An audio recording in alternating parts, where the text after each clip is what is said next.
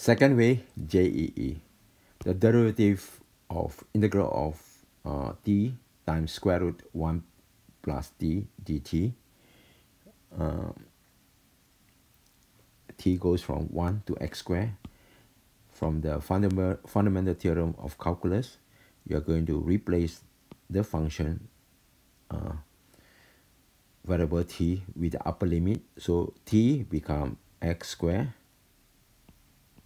and then square root 1 plus t become x square upper limit okay?